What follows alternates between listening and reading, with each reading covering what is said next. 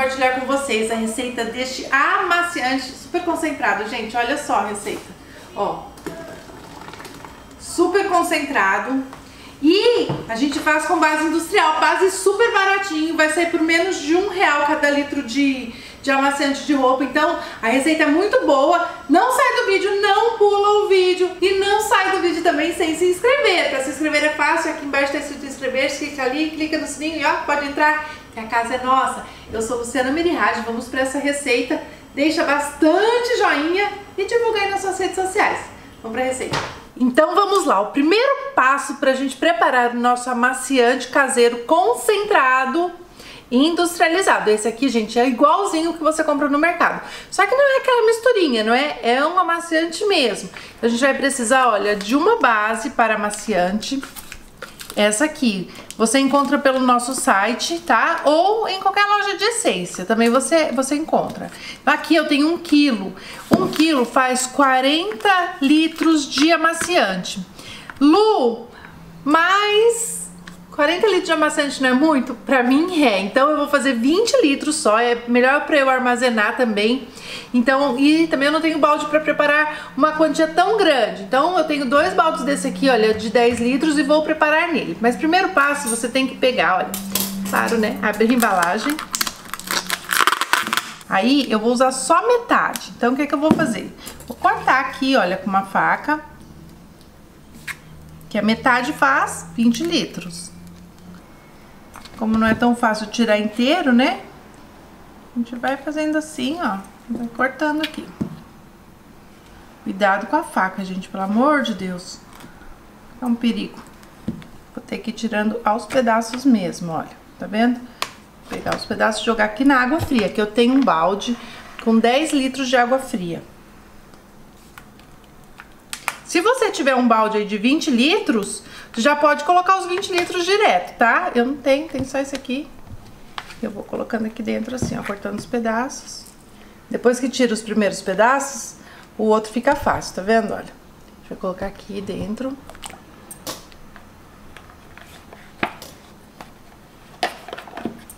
Aí.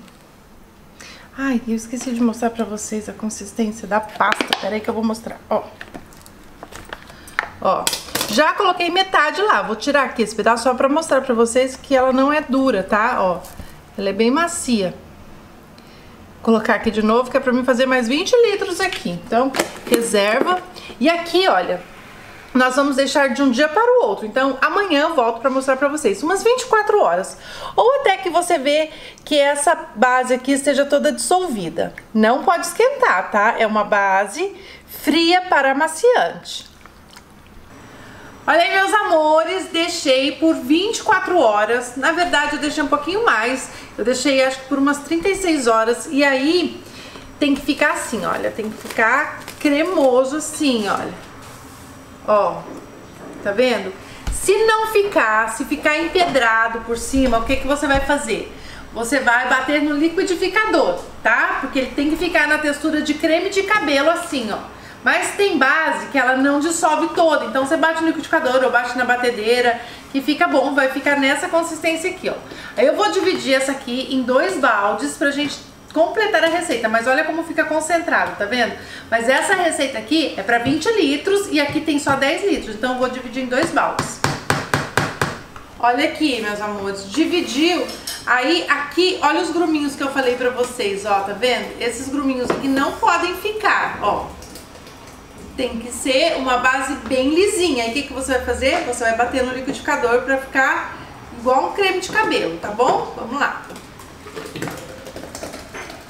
Então, gente, se ficou os gruminhos, tem que bater no liquidificador. Vou bater aqui pra, só pra vocês verem, ter uma ideia. Não precisa se preocupar, não vai estragar seu liquidificador, porque não é muito macio, parece um hidratante de pele ou de cabelo. Muito macio, mas não tem cheiro nenhum, tá? Então pode bater Vou bater e já mostro pra vocês.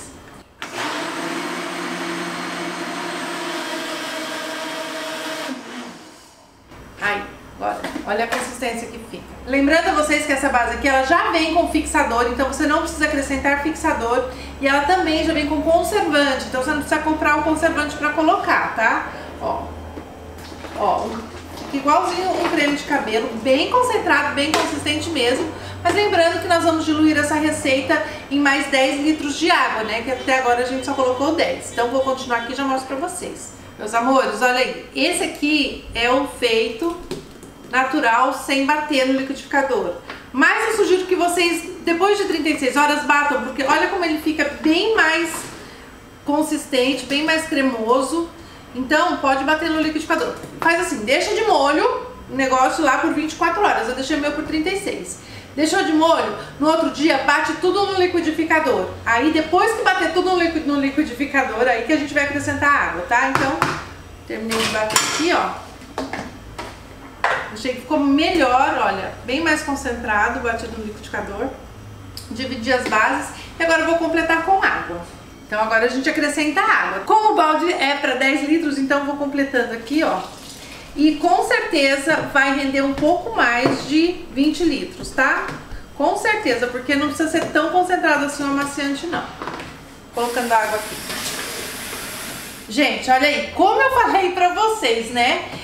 é muito boa, fica muito concentrado. Então eu tive que diluir um pouquinho mais de água, falei pra vocês 20 litros, mas a gente fez aqui, olha, deu mais de 25 litros, tá? Então a receita é sensacional, a base é top. E aí, Lu, você pode, a gente pode colorir? Pode colorir.